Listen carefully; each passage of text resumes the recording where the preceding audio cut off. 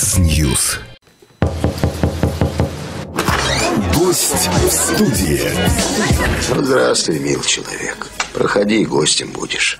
Выпьем, закусим, о делах наших скорбных покалякаем. Гость в студии. Член правления общества Бюро кредитной информации Интарс Микельсонс у нас в студии. Доброе утро. Доброе утро. Чуть-чуть поближе к микрофону вас попросим подвинуться. А, да, поговорим мы сегодня, исходя из названия, уже понятно о чем, о кредитной информации, о кредитной истории, насколько люди ответственно относятся и к этой части своей жизни, и вообще, как у нас э, дела обстоят с Знаем, что мы с небанковскими кредитами боролись, боролись, и в каком мы сейчас состоянии находимся, насколько люди ответственно сами понимают, э, во что они ввязываются, могут ли они себе это позволить.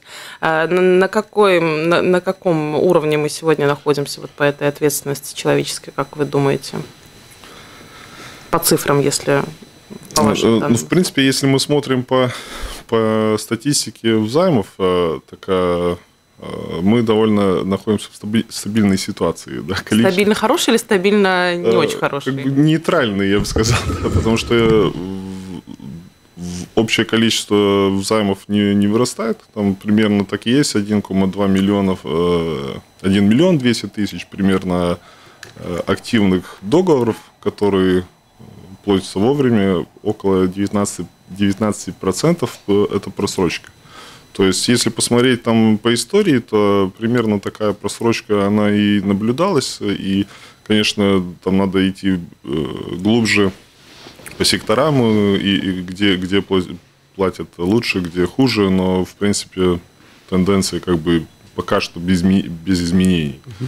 Uh-huh открытый вопрос, что нам принесет изменения в законе, которые вступили в силу, в силу и в этом июле насчет процентной ставки, угу. и на то, насчет того, что запрет по рекламе. Да, то, да, кредитов всех. Да, всех кредитов. То есть, то есть, я думаю, это будет какое-то влияние, потому что э, уже на, на этот э, момент есть пару компаний, которые прекратили свою деятельность. То есть, э, так что взаймы больше не дают, потому что они поняли, что насчет этой процентной ставки там бизнес не построишь. Ну, остальные, э, некоторые чувствуют себя довольно комфортно, потому что они уже работали в, в этих лимитах. Ну и те, которые работали с лимитами побольше, но они пытаются сейчас понять такое время непонятного, что будет, как будет, когда будет, и что нам это принесет. Может быть, э, несколько слов еще о том, чем занимается Бюро кредитной информации, но, может быть, не все слышали и не все в курсе, вот в чем функции.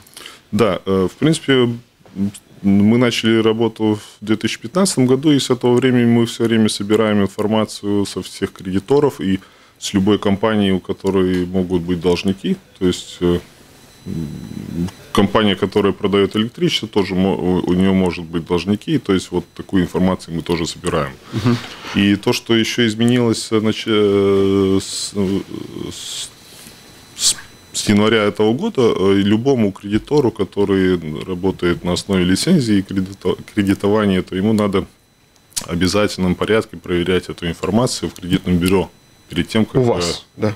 То есть у нас есть, э, в общем сложности два кредитных бюро. То есть в обоих надо эту информацию проверить. И только тогда уже на, основе увиденной информации можно кредитовать или, или нельзя. То есть если до конца прошлого года еще кто-то мог не посмотреть, если у нас есть какой-то долг, э, не знаю, какой-нибудь компании, там, по, по, которая горючее продает, или, или еще как-то, то Э, там можно было проскочить, но так э, с января уже не, не так-то все просто будет, потому что все эти долги э, видны. Вот что касается долгов, какая, если там, условно говоря, человек, скажем так, физическое лицо, угу. должно банку, да, или вот там, не знаю, Латэнерго, Э, мобильным операторам, наверное, эта информация к вам стекается. Да? Да. Какого еще вот долги там, не знаю, мы знаем, что сейчас вот поставщики коммунальных услуг, их там сотни, да, это не обязательно, да. там Рига с нами Павла, несколько угу. муниципальных предприятий, есть общество жильцов, понятно, есть разные другие угу. кооперативные образования угу. и так далее. Какого, э, что, какую информацию вы бы еще хотели получить, но у вас нет к ней доступа, но она очень важна, чтобы понять э, кредитоспособность человека? Принципе, все вами названное, потому что, конечно, если смотреть по количеству компаний, то не так уж много этих компаний, которые на данный момент дают эту информацию. Я бы сказал, что почти там, 99% или 95% именно компаний, которые занимаются кредитованием, дают именно нам информацию. Остальные дают второму кредитному бюро. То есть для кредиторов там все хорошо, потому что, я бы сказал, 100% это, ага. это есть значит, покрыта, покрыта э, информация с этой отрасли. А вот с остальных там уже чем меньше предприятия, тем и ему как бы или они не знают, или э, не понимают, зачем эту информацию им было бы выгодно сдавать. Но так что люди, если вы занимаетесь предприятием, да, если у вас есть должники, то это есть, э, в принципе, это довольно хороший способ, как бороться со своими должниками, тем более он бесплатный. Угу. Что... Это очень важно. Что касается, может быть, еще такого вопроса, насколько вот те, кто должны туда заглянуть, да, или тех, угу. Кто хотят вообще понять, вот э, имеет дело с этим человеком или нет, насколько можно вот из этих данных вычислить, речь идет, ну, допустим, мы понимаем, что если человек там не, не платит по кредиту месяцами, но это понятно, что это долг, хронический должник, там да. все копится. Ну, есть же еще такие, скажем, есть, можно сказать, текущие долги, которые чаще всего даже связаны не с тем, не с платежеспособностью человека, сколько там дисциплины платежей или с тем, что, может быть, доходы приходят, ну, неравномерно, не условно угу. говоря, 10 числа, угу. и поэтому там, не знаю, человек за тот или по тому или иному кредиту, или там каким-то коммунальным платежам, или вот лизингом платит э, попозже условно да, говоря. Да, То есть он опаздывает по срокам, но он платит. То есть у него эти долги как бы не накапливаются, но видно, что дисциплины платежей плохо дело. Вот как это можно э, проанализировать и какие угу. могут, можно из этого сделать выводы?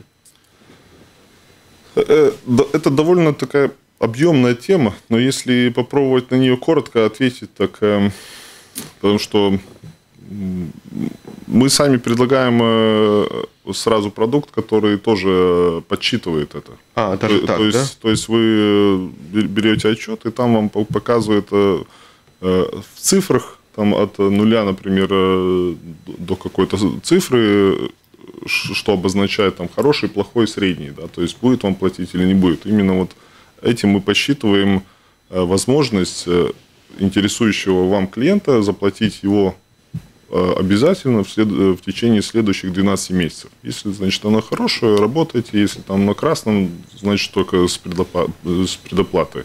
Как это посчитывается, это довольно сложно и, наверное, и часу не хватит, чтобы это объяснить, но в двух словах, в принципе, если мы смотрим насчет физических лиц, там примерно 60-70 меняемых, которые влияют на то, как, как, какой результат вы получите.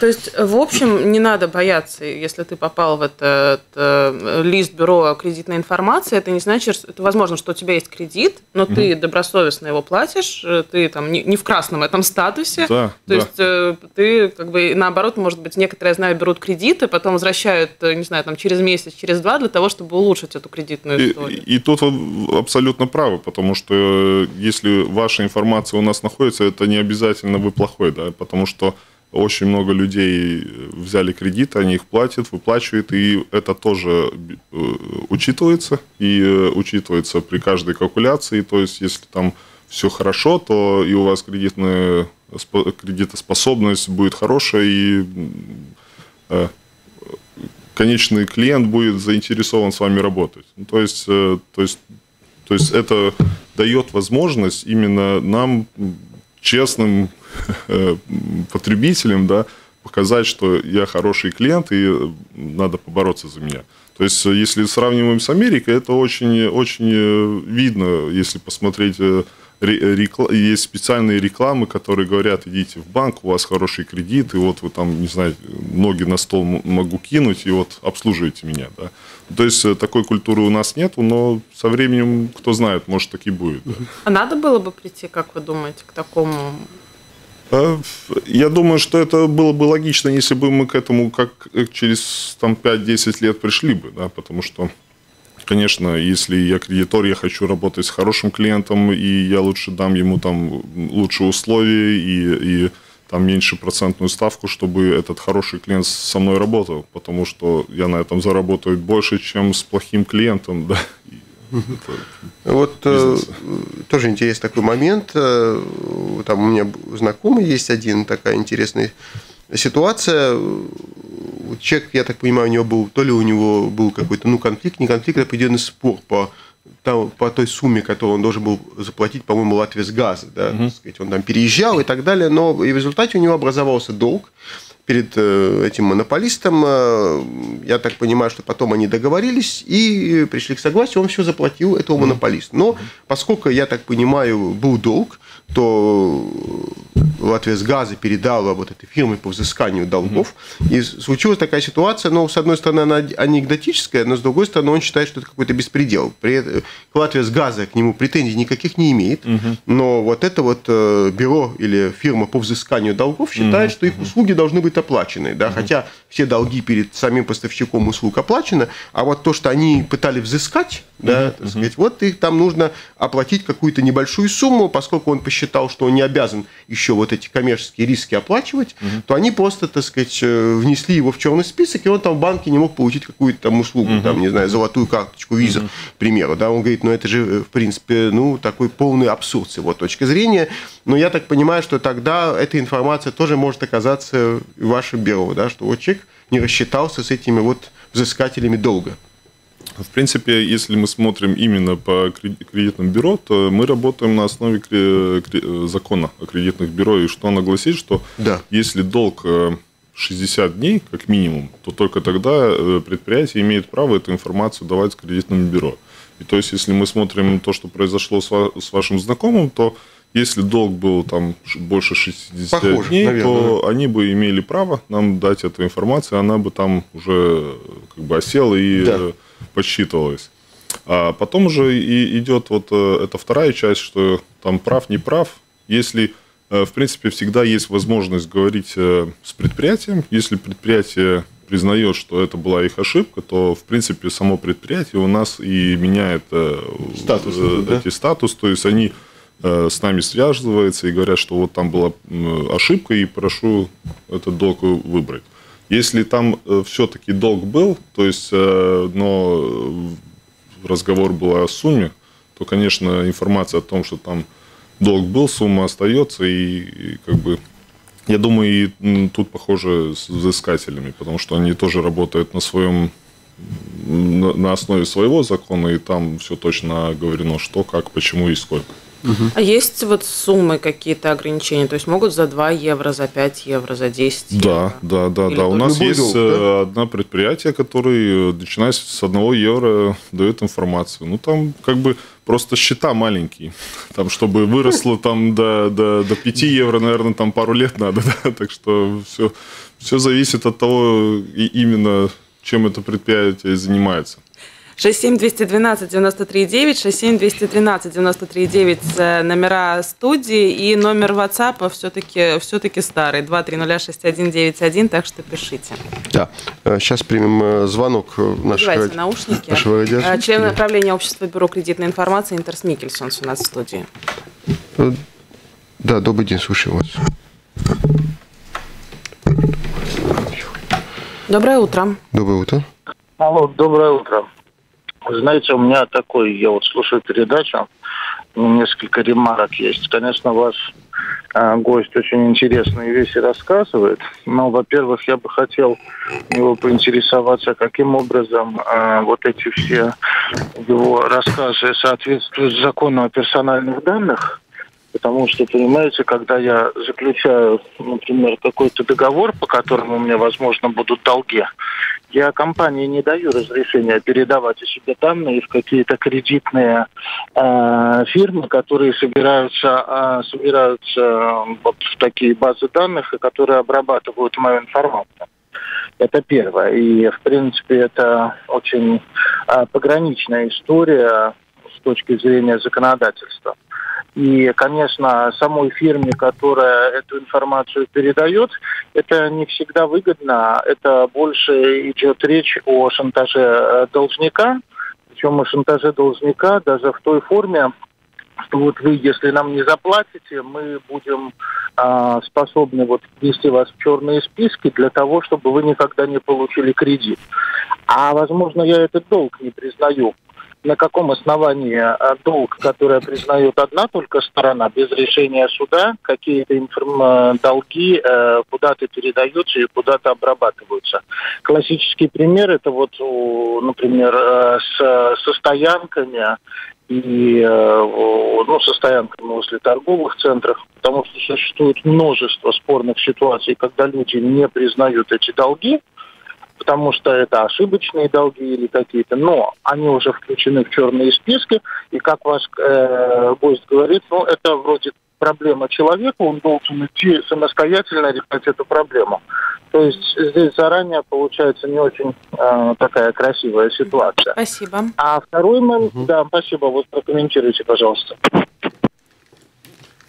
Что скажете? Э, в принципе, два очень хороших вопроса. Начну с первого насчет э, GDPR, да, как, как, как на, на, на основе, значит, как, как это все э, гласит и все, все происходит э, на основе защи, по защите данных. Да. Угу. С этим все в порядке. В то, когда в 2015 году мы начали работу, и все, что зависит насчет систем, все уже э, мы знали, что такой закон будет, и уже подготовились, и с этим все в порядке. И э, на, если идти глубже, почему э, предприятие имеет право давать эти данные, хотя э, никому вы согласия не давали, потому что все происходит на основе закона. То есть физическому лицу и не надо выдавать своего согласия, потому что сам закон о защите данных предполагает такую опцию, что если есть специальный закон, то в специальном законе может быть оговорено, на, на, на основе чего и когда происходит обмен данных. И то есть наш специальный закон именно есть тот закон, который я говорил, закон о кредитных э, бюро. И и там как бы все сказано, когда, почему, на основе чего, сколько долг должен быть просрочен, что предприятие должно делать, там предупредить клиента, и только тогда и, и можно эту информацию передавать. То как бы... Подписывая договор, он уже подразумевает, то есть человек дает, грубо говоря, согласие на то, что там в случае такой ситуации его данные будут переданы. Ну, в принципе, это, э, по, по самому закону Э, кредитного бюро есть и ситуации, что указано, что э, даже те долги, которые вы можете, то есть э, не все долги, которые у вас оговорены в законе, в договоре, но и те долги, которые оговорены в законе. То есть, то есть вы с этим же Э, домовладельцам даже можете не подписывать договор, но есть там свой закон, на основе чего он вам э, выставляет счета, и на основе этого без договора он все равно может э, давать эту информацию нам, потому что все происходит на законе, на основе закона. Да. А второй вопрос по поводу того, если человек не согласен э, тут, долгами Тут, своими. в принципе, не, все не так просто. Я бы хотел начать с того, что сравнить э, нас с Эстонией, потому что в Эстонии кредитное бюро работает уже с начала 90-х. И э, недавно мы хотели сравнить Латвию, Литву и Эстонию, посмотреть, какая, э, э, как люди интересуются о своих долгах. То есть, если мы смотрим, у нас на данный момент 30 э, тысяч активных клиентов, которые проверяет э, свою кредитную историю. Если мы смотрим э, на Эстонию, где, кажется, ну там больше 20 лет э, люди, это предприятие работает, значит, там, в принципе, наверное, уже все должны быть пользователями и проверять свою кредитную историю. Там, там были, статистика была такая, что там, по-моему, 15 тысяч клиентов только зарегистрировались, чтобы проверить свои истории. А, и ответ довольно простой. Почему там так мало, хотя они э, работают так долго? У нас два раза больше, ну, конечно, и жителей два раза больше, да. А, просто потому, что там другая эм, культура платежей. То есть люди, они понимают, что им надо платить долги. То есть они даже не задумываются над тем, чтобы не заплатить. Именно, именно. И вот и именно вот то, э, то, что и мы хотим в принципе, достичь в Латвии, что человек не думает, как бы не заплатить, а он понимает, что он получил, значит, услугу, и он должен заплатить. И там уже дальше, конечно, вторая тема, вот если все-таки вы не, предприятие не правы, там, там есть какой-то спор, то всегда есть возможность это, это, об этом сообщить нам, и в кредитной истории есть специальное место, где указывается, что там есть спор, и то есть если вы даже Э, и, и, и место, где показывается, какого типа спор. Просто спор или там э, спор в суде. Угу. И потом, конечно, если вы доказываете, эта информация вынимается. Да, но в любом случае я бы хотел э, вести нас в, в, в ту сторону, что за свои услуги надо платить, и надо платить вовремя. Ну вот мы так уже подошли к теме, когда не всегда согласен человек со своими долгами. Знаем мы, что не всегда человек знает, что он должен. Для него это сюрпризом да. тоже оказывается. Да. Да, это, это, кстати, довольно актуальная тема, потому что пару месяцев назад и э, насчет этого была информация по телевизору, что э, уже женщина, оказывается, взяла в долг, хотя она этого не знала. И, и там, конечно, и полиция Э, криминальное дело и так далее.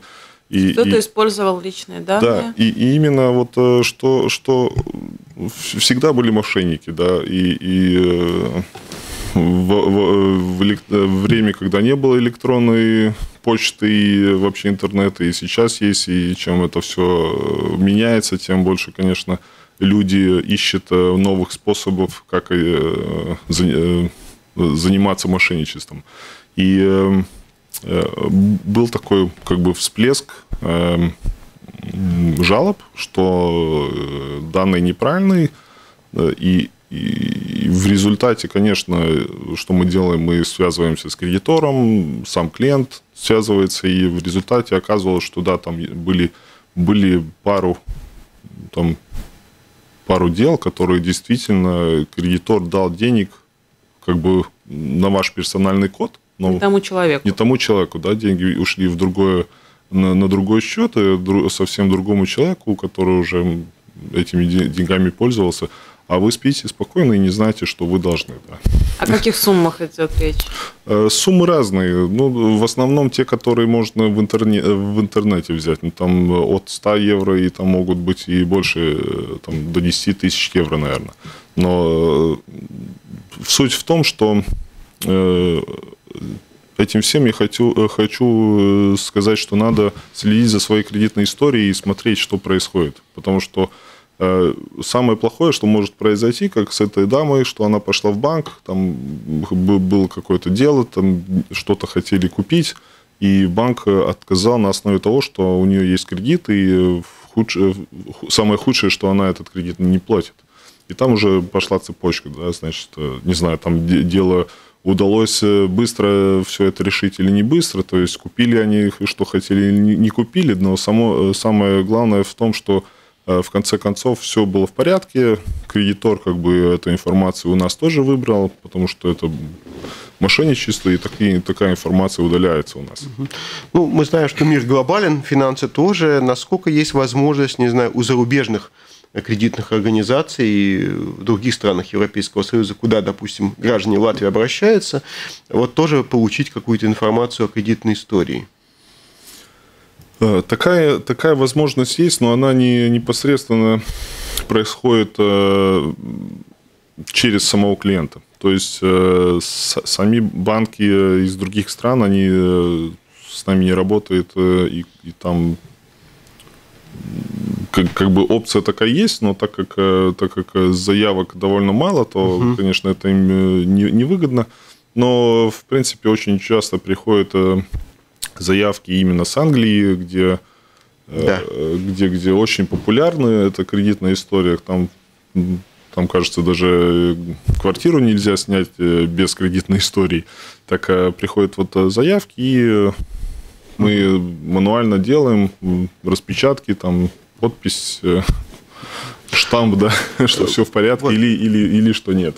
Вот по вашим наблюдениям, все-таки у вас уже довольно защитный опыт, все-таки вот э, жители Латвии, я понимаю, что это такая средняя температура по больнице, но, в принципе, жители Латвии стали как бы больше понимать, насколько важна вот эта кредитная история, и что иногда ее уже очень сложно изменить. Да, потому что... 10 да, лет, по-моему, да? Да, я уже не говорю про хронических каких-то должников, да, но вот э, про тех, кто там что-то, один какой-то кредит просрочил, а потом оплачу, там, uh-huh, uh-huh. не знаю, какому-то там мобильный за, за лизинг, а потом оплачу, да, потом, может быть, он заплатит, да, но нет такого, как вам кажется, вот растет это, не знаю, самосознание людей, что вот эта кредитная история, которая вот надолго э, за тобой остается, иногда даже на всю жизнь? Э, понемножку. Понемножку, да, потому что если там сравнить пару лет назад, когда мы приходили к предприятиям, которые не связаны с кредитованием, то ну, как э, с белого листа говорили, объясняли, что это такое, почему им это выгодно. Сейчас уже наблюдается то, что сами люди с этим уже сталкивались, знают, что это такое, и уже сами звонят, говорят, вот мы хотели бы эту информацию сами получать, узнавать. Если, ну, это, это значит, я сравниваю компании, да. Если смотреть с, с жителем простым, то я бы сказал, я думаю, что люди только начинают узнавать, когда, когда наверное, сталкиваются, с, с, с этим вопросом. Да, тогда есть много вопросов, почему вот именно как э, человек звонил, на, ком, на каком основании и так далее. И Насколько актуальна такая проблема, как, не знаю, семья должников? Я понимаю, что это такой чувствительный, как говорят, сенситивный вопрос, но тем не менее, потому что ну, бывает такая ситуация, когда говорят, слушай, ну мне уже не дадут кредит, да, иди, супруга, ты получи, да, вот я уже в черном списке. В результате, так сказать, вся семья оказывается Тут, наверное, вопрос с самим кредитором, как они это решают. Э, я как бы именно разговариваю с кредиторами, такую проблему не наблюдал, но то, что мне рассказали сами предприятия, которые дают разные услуги, там, например, электричество, что вот э, наблюдается именно э, целыми семьями, приходит, по одному заключает там договор насчет электричества, ему отключает, потом приходит жена, опять то же самое, потом приходит сын. И то есть, э, то есть вот... Э, семья большая, да? да, семья большая, то есть э, у, у людей много, и у них идеи тоже Ищут способы. Ищут, ищут способы. То есть, то есть вот это то, о чем я говорю, что в Эстонии все-таки там люди уже как бы не думают, как обмануть э, да, государство или как обмануть предприятие. Там люди все-таки э, думают э, и понимают, что им за свои услуги надо платить. Ну, вы в самом начале сказали, что у нас более миллиона э, вот этих э, должников, ну не должников, а людей с кредитами. Э, не, не людей, а именно договоров, кредитных договоров 1,2 миллиона. Активных, на сегодняшний день. Да. И... Получается, что практически у каждого жителя больше даже. Потому что если смотреть по статистике, то финансовые активные люди, которые живут в Латвии, примерно 750 тысяч. То есть на каждого по, по, по два, по, по ну, полтора. Я, да, ну, это же может быть разное. Это может быть даже телефон в лизинг взяли, да? Это ведь не да, обязательно да. должен быть банковский конечно, кредит. Конечно, ну, в принципе, да. я так понимаю, что здесь ничего уникального нет, да? Вот в мире это распространено. Да, ну, не знаю, да. в Соединенных Штатах там нет, наверное, человека, у которого нет какого-то кредита, да? Даже состоятельного, я так понимаю, да? Да, кажется, Дания была та, та страна в мире, где больше всего кредитов. Там, кажется, в среднем было 5 или 6 кредитов на одного человека. Как бы, чем, чем богаче страна, тем, наверное, и больше кредитов на человека. Э, вы Я сам... не уверена, что это к Латвии относится. Ну, э, вот интересно, что вы сказали в самом начале, если я не ошибаюсь, что где-то у 19% да, вот какие-то проблемы есть. Да, вот, по, э, вот сравнивая вообще, не знаю, с какими-то мировыми тенденциями, да, это вообще большой показатель. Потому что, ну, когда говоришь, по крайней мере, когда были краткосрочные кредиты с владельцами этих компаний, они говорят, ну, мы же знаем, примерно 10% мы уже понимаем, что они не вернут эти деньги, мы это вкладываем в свои убытки, но 90%-то вернут, да, вот в этом, на этом наш бизнес и построен. А, и те, да. кто вернут, они заплатят за тех, кто не вернут. Ну, вот да. такая простая вроде бы схема. Вот 19% много, мало, вот как это оценивать? Я бы сказал, наверное, средний такой показатель. Среди этих 19 больше кого? Это не, не, не банковские кредитования или это коммунальные должники? Где, в какой сфере больше всего должников? Ну, в принципе, и вот эти 19% это именно процент тех, эм, тех э, людей, которые не платят э, именно кредитным учреждениям. А если смотреть тех э, людей, которые не платят там не, банк, не банкам там, за коммунальные услуги, то там Э, число было 350, кажется, кажется тысяч эм, неоплаченных счетов примерно 110-120 тысяч э, уникальных людей. То есть, если мы смотрим 750 тысяч активных, 110, это сколько получается, 15 больше процентов людей, которые не платят э, по счетам, и у каждого как минимум два, два неоплаченных счета или даже в среднем два с половиной. То есть, то есть тут и появляется, что вот эти 10, 10, 15 процентов, они, в принципе, идут через все, все вот это в, в любой сфере, примерно 10-15 процентов тех людей, которые почему-то не, не хотят платить по, по счетам. Или не могут. Такие, Или не могут, такие да. тоже у нас есть. 67212-93-9, 672-13-93-9. Еще есть время у вас позвонить, задать свой вопрос. А Вот по поводу не могут. Иногда бывает, что вот кредит, он загоняет человека еще глубже, и ну, он попадает в такую яму, бездну, из которой он э, там на заработки уезжает или им там приходят, не знаю, сообщения о продаже почки искать. Ну, то есть все, все варианты, потому что его это еще, еще глубже погружает. Э, Вы встречаетесь с людьми, с, с компаниями, не знаю, как модератор, может быть, выступаете для того, чтобы, ну, вы понимаете, что у человека один кредит, второй, третий, то есть вы видите его историю и понимаете, что его это только топит. Э, Нет, мы, мы как бы в, это, в этом процессе никаким образом не участвуем, потому что и, в принципе, у нас нету такого права там, смотреть, какие данные именно у одного человека. Мы как бы видим всю массу, статистику, но это все.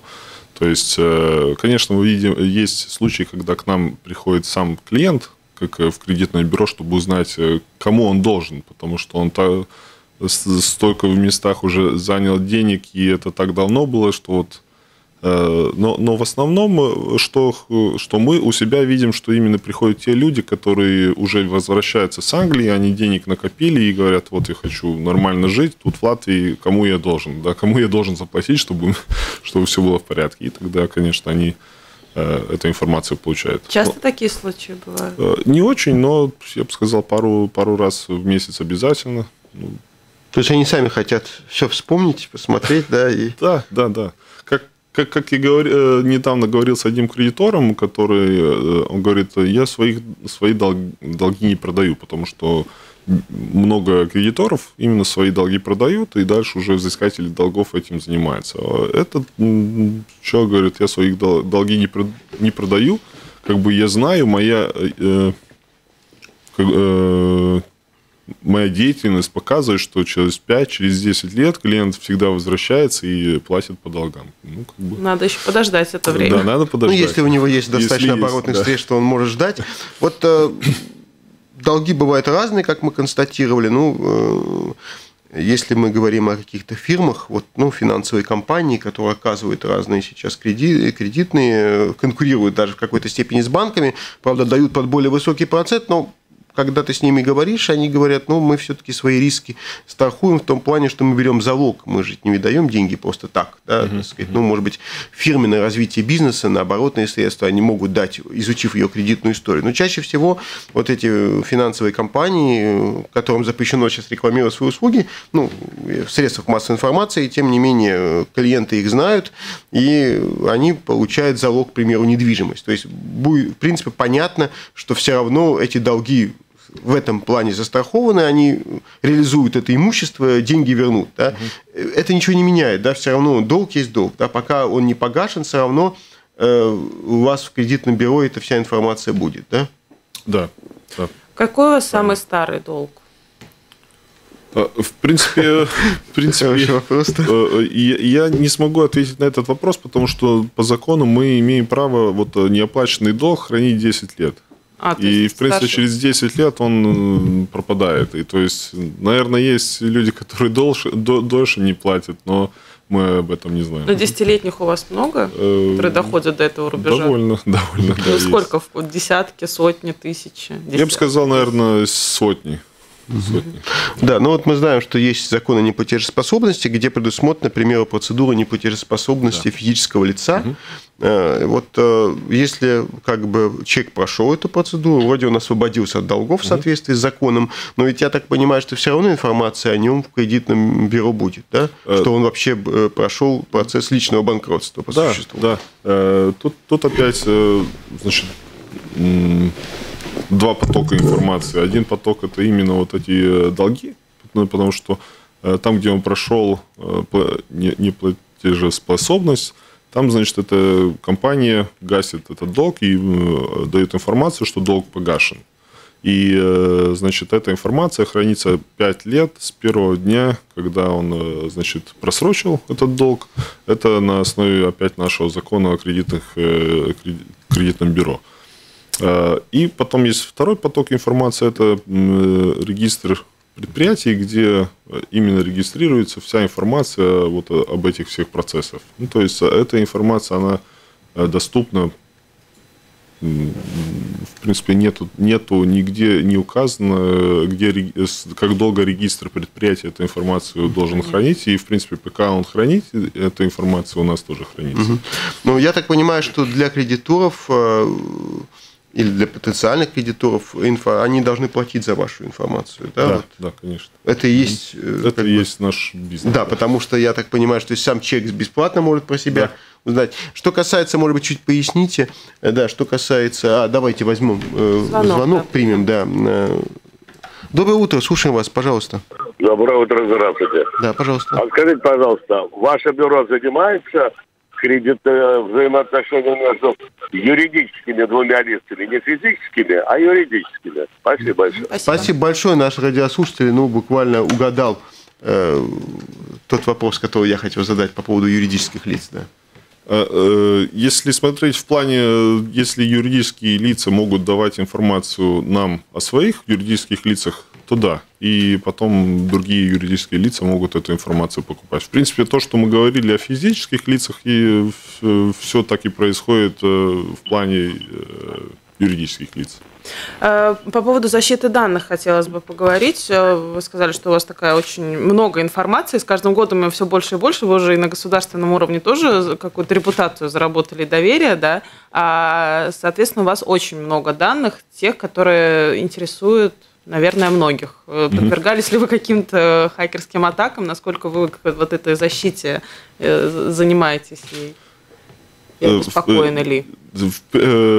Скажем так, до меня эта информация не дошла. Значит, все, значит, все, что наши IT работают очень отлично, но чтобы всех успокоить, и, то, то действительно и саму систему проверяли до того, как ее запустить э, в онлайн, что пытались взламывать ее сами э, профессионал, э, профессионалы, и, и, и как бы все показало, что все отлично. И только тогда начали информацию загружать. И, конечно, есть специальные программы, которые мониторят вот, хакерские нападения. Если вдруг они произойдут, то есть процедуры, как сразу все там отключается, что происходит. То есть, в принципе, если даже кто-то попробует, то то система не будет доступна, чтобы для взлома, да. То есть все время мониторится и проверяется, Конечно, да? да на, так, так как это очень сенситивная информация, так э, безопасность на, на первом месте. Э, куда заходить, что делать, если человек вдруг вот захочет э, послушать наш эфир захочет все-таки посмотреть, есть у него долги, нет, и как, как его история выглядит? Да, э, значит, интернет-сайт manacreditvaisture.lv, моя кредитная история, только на, на латышском. Там заходите, регистрация через банк-линк, и ну, так мы узнаем, что это вы, и там два раза в год вы можете эту информацию получать бесплатно.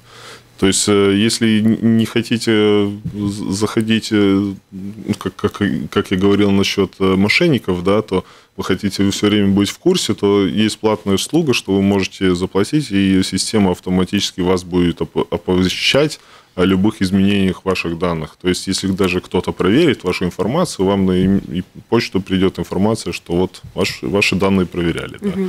И если будет новый долг, то тоже эта информация придет, и вы уже вовремя сможете посмотреть, кому я, я должен, да, почему, и то есть, если он, долг не обоснован, то уже вовремя сможете с этим предприятием связаться, все это уладить, и э, это предприятие уже Э, эту информацию исправят, если э, все будет обосновано. Если у кого-то нет, например, интернет-банка, можно прийти к вам в офис? Э, в офис, да, мы находимся в Риге, улица Граду 4А.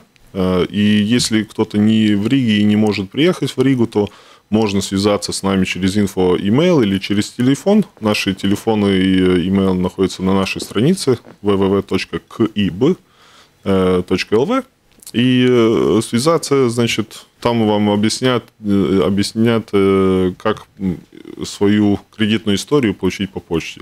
Конечно, это платная услуга, потому что услуги почты платные. То есть вы заплатите только за услуги почты.